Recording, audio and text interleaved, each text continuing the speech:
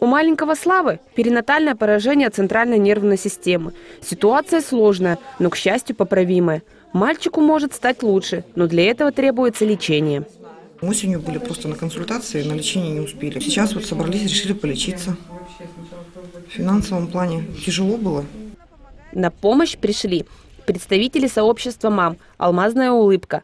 Они дали надежду на спасение маленькому Славе. Организовали акцию добра. Неравнодушные люди, работники различных предприятий и организаций мирного, предприниматели и волонтеры поддержали это важное начинание.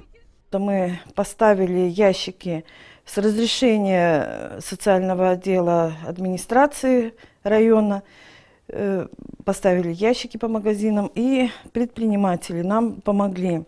За полгода перечислили гигантскую сумму – более миллиона рублей. Инициативные мамы пригласили врачей клиники Мельникова из Москвы.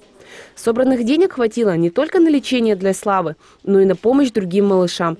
Десятки мальчиков и девочек, чьи родители уже, казалось, потеряли надежду, получили шанс на выздоровление от отзывчивых людей. Мы здесь уже второй раз. Родители, так как увидели положительную динамику, поэтому пригласили нас повторно. Вот.